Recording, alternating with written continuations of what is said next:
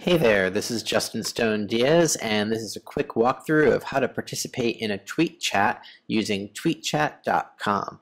This tutorial assumes you've got a Twitter account and there's a hashtag-based Twitter chat taking place that you'd like to participate in.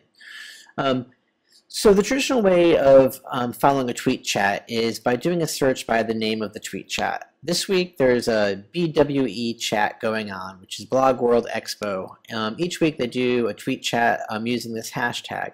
So one way you can follow this, the traditional way of following this is doing a search by the hashtag, um, and then periodically um, new tweets will come up under that hashtag.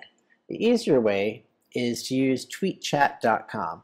So what you'll need to do is um, open a new window and go to tweetchat.com. And what you'll be able to do is up in the top right corner, use your Twitter credentials to log in. Um, click on that sign in button and it'll ask you to authorize the application.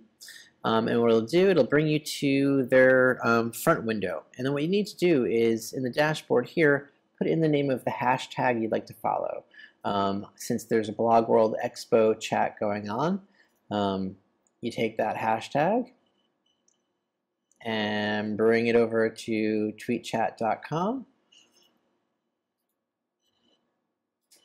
And what it'll do is it'll bring up the win a window here um, that basically is a chat server that tracks just that track that hashtag that you want to follow.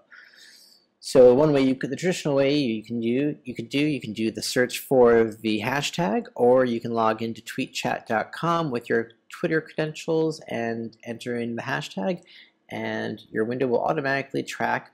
Cool thing about using tweetchat.com is any message that you type in, it will automatically include the hashtag that you're tracking.